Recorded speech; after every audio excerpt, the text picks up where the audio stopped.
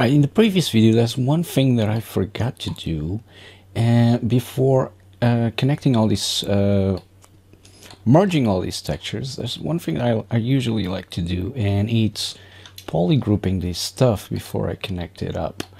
So I'm just going to select each one of them and press Control W so that if I want to come back to this tool, I'm just going to each one pressing Control W. So if I want to connect, uh, come back to these two, it's easier um, you with polygroups because then when it's merged, now if I merge all this stuff down like I did in the previous video, uh, like UV, merge down, merge down.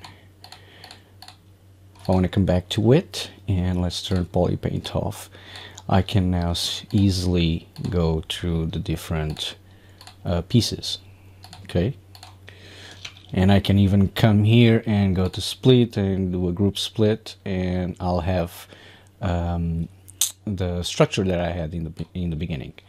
So now that I only have one subtool I can grab this name and name this guy as IV pole and delete that guy. And I can save this subtool instead of saving the project because saving the project is it's going to give you a bigger format.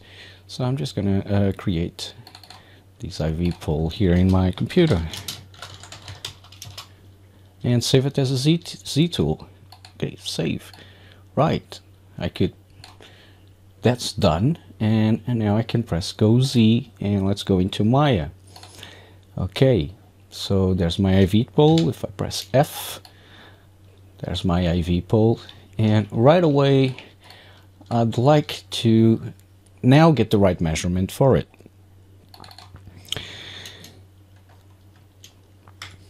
So I'm just going to go into uh, the internet and look at how high is one of these guys.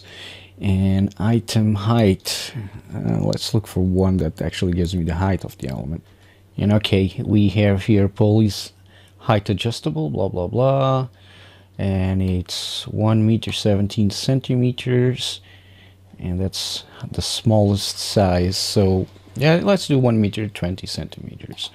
Okay so how do we do this in Maya? So if I press the space bar and I'll just uh, over this and go into focus here. Press space bar here and so I'm on our orthographic view. I can come down to my display and uh, is it display or is it create? Is it, it's create measurement tools and I go to a distance tool. So I can click here to create one locator and then click here to create another locator. And if I go into my move and I'll select my second locator and I can just adjust this so it's a straight line. And is 1000 1000 meters. Well that's a bit of a giant one isn't it? Okay this is in centimeters if I'm not wrong. So 120 should be the size of my tool of my IV pole. Okay, so let's scale that down to 120 then. Whoop. Okay. And I'll just press F to focus on that. And I'll just bring this guy over here. Okay, that's 120. Okay, select my object here and make it 120 approximately. Right, that's good enough. We don't need exact measurements. Like I said, this is for a game. And now we got the right size. So if I go back into my perspective view, I can do a GoZ here. No mesh. Okay, these mesh. a GoZ. And in here now we got the right size inside of ZBrush as well. So I'll save uh, my tool again save as IV pulled oh there's an underscore there now okay. Right I'll just delete the other one from the folder and we're off and set to go. Right, in Maya, let's take care of these UVs now. So I used GoZ this is there's many di several different ways you can work. I I combined every mesh, all the meshes inside of ZBrush and I exported it to Maya. Now you could keep everything separate and bring it into Maya and you could work in object mode and just select each part separately and work on on their UV separately. You can also right shift, right click, go into UV and select UV shell and now you can click the different UVs, uh, UV shells that you want. If I go into my UV editor, thing with that is that even though you selected the UV, right, they're all on top of each other, you can see. You selected the UV, you can grab this UV and take it out of the way okay and then uh, start uh, uh, placing this how you want it and whatnot. And you can also come into your modeling toolkit and you can do um, select your model. Make sure you're in object mode select your model and do a separate. Now when you do separate you get all these different poly uh, surfaces and they are the poly surfaces that we had in ZBrush. Now notice that's a lot more than what we had in ZBrush because it separated the wheels as well and it's separated by UVs. Okay, so each one that has a UV, I believe, as you can see here, all the wheels are selected, right? Okay, so I'm actually going to work like this and I bet I uh, might as well start with the wheels. So everything that looks like that uh, okay. So and of course you can also go into object mode and select all these guys like that right? And now I can uh, either combine these these guys Combine them. And they all want UV right there. So I'll do the same for the wheels. This is just the way I work. It doesn't mean that you have to work in the same way. You can find your own way of uh, doing uh, what needs to be done. No, not separate, combine. Okay, thank you. And now I just need to do that bit there these little guys here. So and I, I believe they're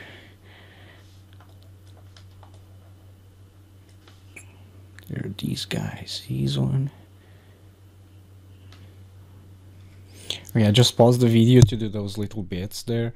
And now because I've combined them all of this stuff as no UVs is gone so I believe I can. No I cannot delete it. Right but they're there okay?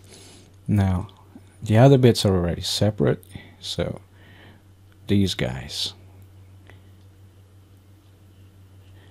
Alright. So now I can just click on what I want to uh, move around in my UV space and move it around in my UV space. Okay, so I start with this. And first thing I'm going to do is I'm going to use UDIMs here just for the time being. And let me just uh, go into UV here and start moving this stuff away and put it in different UDIM spaces so that they're not all on top of each other.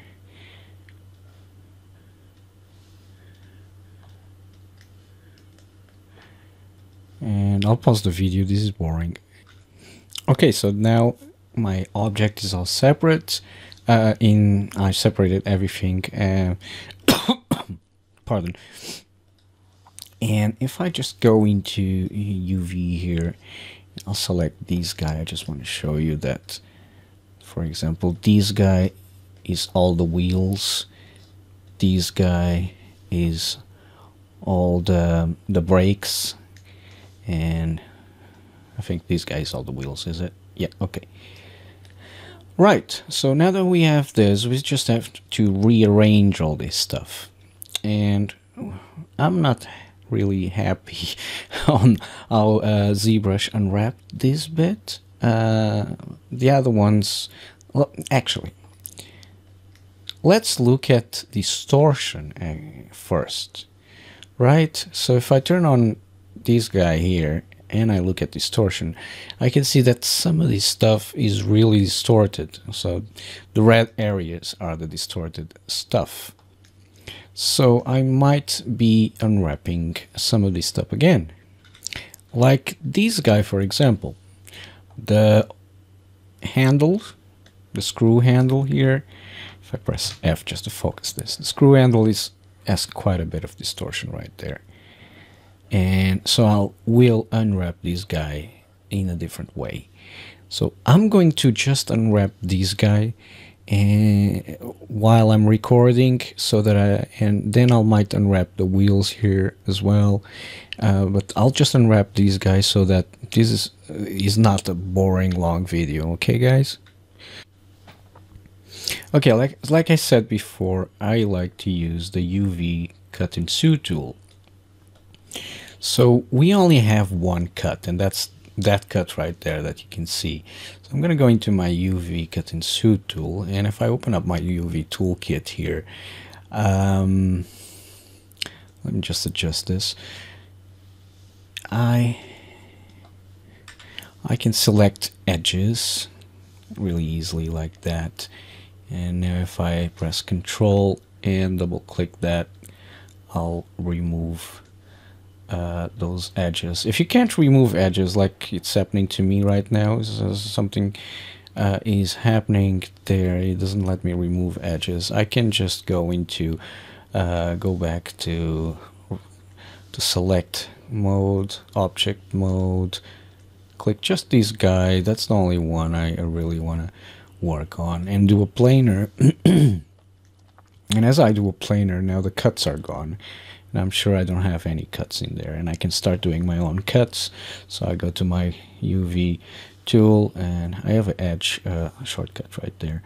So how are we going to uh, do this? I think I'll do a cut there. And and one there I'm not very good at doing this. I, I have to advise you right away. I'm not very good at uh, creating seams for UVs, uh, but um, but I wanted to remind you. Okay, remind you that the more cuts you have, the more vertex count you'll have in um, in your 3D well in your engine. Just cut there please. Okay so I'm control clicking and dragging. Okay let's see what that's gonna give us. So if I go in into UV and if you right click uh, I can't remember how to do that, how to go there. But if I press UVs here, oh yeah, so it's these little box here. And I hover this or I select this and press D. That's gonna unwrap and that was a poor unwrap. That's terrible because one side is huge and the other one it's really tiny. So I'm gonna try and just do it uh, the following way. Boom, boom. Okay, and then I'll probably do a cut down here. Boom. And see how that goes. Right, D. Okay, so this bit is not going to be as visible as this bit right here. Uh, and I do have a bit of crappy geometry right here. This is should okay, yeah. It's a bit crappy, guys, but I think it will do. So the the actually the part that is small is the part that I want to be big, and and that's a terrible cut right there. got a turn there so we don't want that that's overlapping if I just zoom in it's overlapping on its on itself. Sometimes I just get lazy and what I'll do is I come in and say automatic and boom it's done for me right? Uh, I don't have to worry about anything else but the more cuts you have the more vertex you have. So I now that I have automatic there I, I'm gonna go in and I'm gonna get rid of some of these edges and see what's gonna happen. And if I can have uh, a better unwrap with less cuts. Okay. So let's unwrap this again. I'll press UV and this is the way I do it but there's there's another way here uh, on uh, the unfold option right? So basically what we want to get to is that these little squares kind of match up in size from one to the other so that when we're texturing it um, you don't have one part with a lot of resolution and one part with very tiny resolution. But we also have to keep in mind that some parts like these uh, and just click here and okay so this guy which is this guy right here and I'll just go into this tool. This guy is gonna be uh, pointing there and our model probably not gonna see that guy very often. And I was gonna make it smaller but actually now I realize that you might end up seeing it. So yeah I'll just leave it at that and now I can come in and orient UVs. Uh, so there's a lot of great tools on the UV toolkit.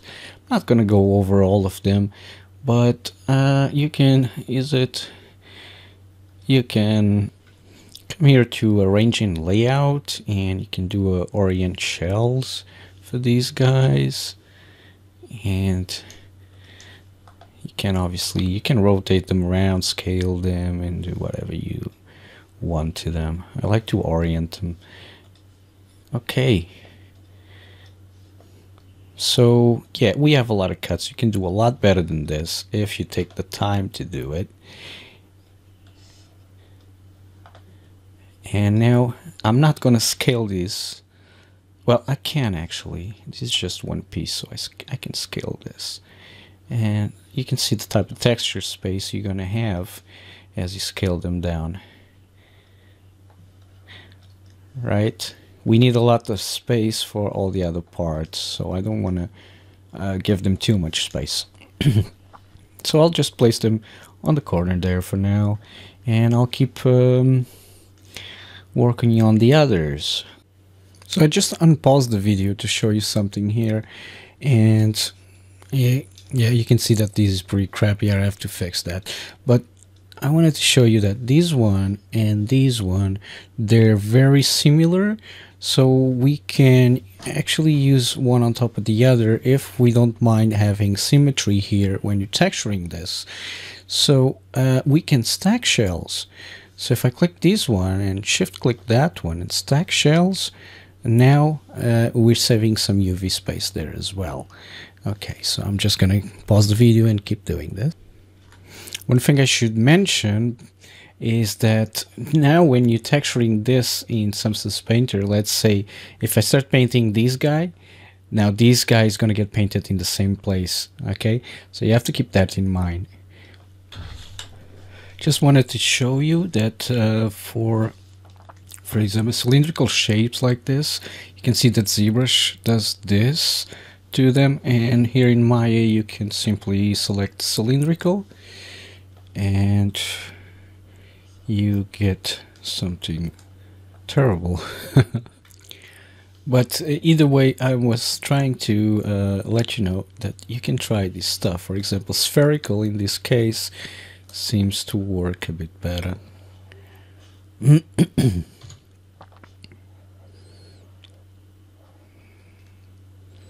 there's still some distortion in some of these guys. So I might as well go with ZBrush. So just to show you that. Oh, and of course, uh, you can always try to use uh, UVs here and see what result you get from that. Sometimes it works, sometimes it doesn't. Another thing I wanted to point out is, for example, the, the wheels. They're all uh, with this distortion here. So what I can do is going into my modeling kit, I can separate them. And so I'll separate them and then I'll work on just one of them. Uh, unwrap that and then I can copy the UVs from this guy onto the other guys. Okay, so I created the UV for this wheel and now if I shift click on that guy and I'm not sure if I can do this on multiple objects. I'm gonna try. If you go into mesh and you open up transfer attributes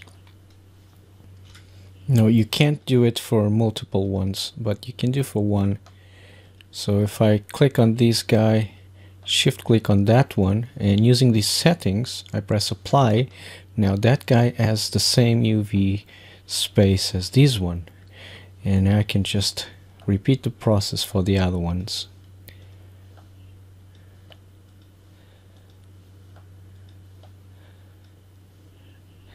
Okay now they all share the same UV space now. I'll just combine them again. Okay. Okay, now that everything is properly UV'd, well, could be better. I mean, I can select whole object in object mode, come up here and start rearranging these guys.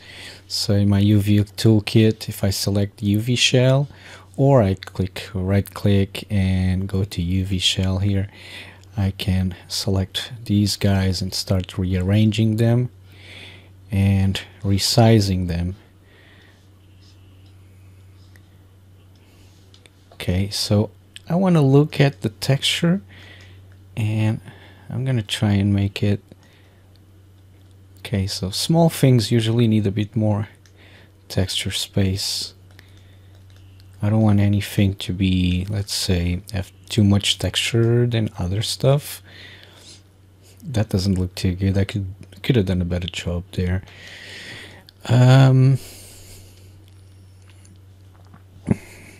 okay, these guy are these not combined? Oh, they are. They're just different UV shells. I have UV shell selected here. Okay, so the wheels uh, could be a bit smaller as well so I think this is the wheels and this is the wheels that bit there as well I just hover it okay and this is so I can make that a bit smaller I guess and and basically I'm trying to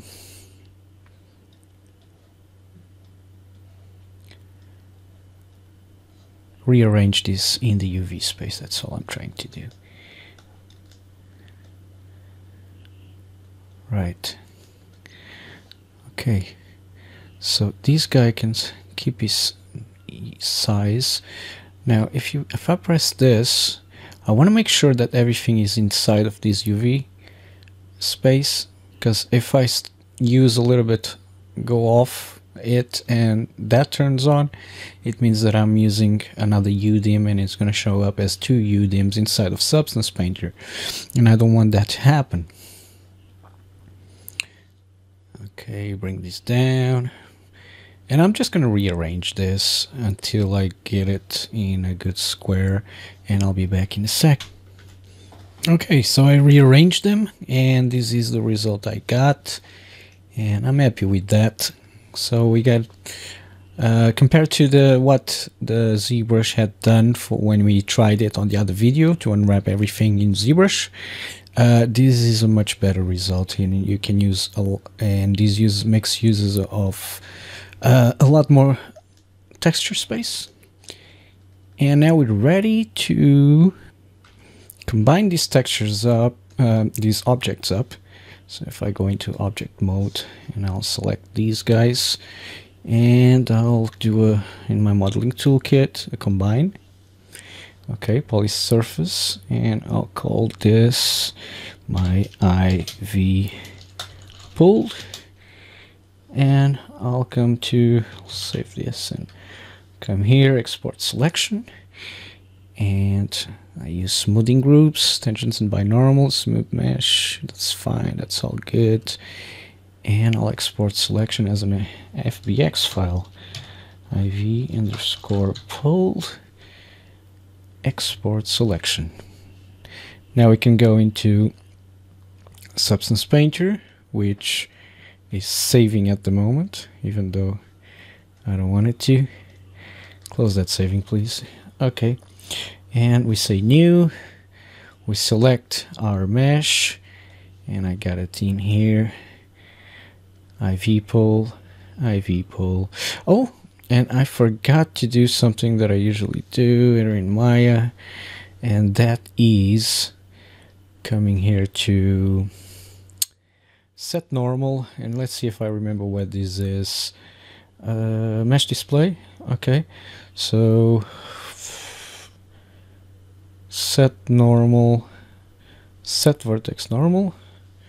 I just hide my UV here. Okay, object mode. So mesh display, uh, set vertex normal, set to face, mesh display, and soften edge. Okay so that all the vertices are softened uh, soft so select my IV pool and that's the IV Paul Lambert and whatever name this has is the name for your texture set so like if I say TS for texture set this is the name is going to show up in um, Substance Painter okay and export that. Now, select it in Substance Painter again. Let's go new, select our IV pool. Let's do a 2K texture for this. Uh, X because it's going to be Unreal. And discard the previous changes.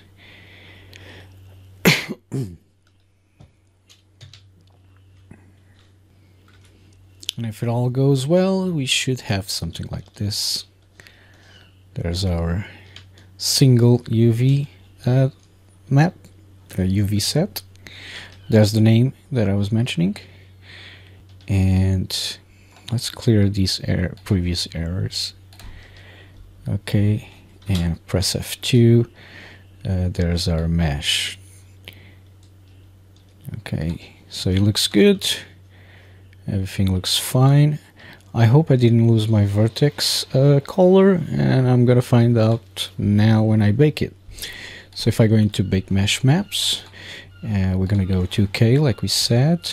I'll press this because I'm not using an high poly and I'll come here and I usually use a subsampling of either 2 by 2 or 4 by 4 This is just gonna uh, use anti-aliasing to improve um, the bake and uh, Let's see how that looks.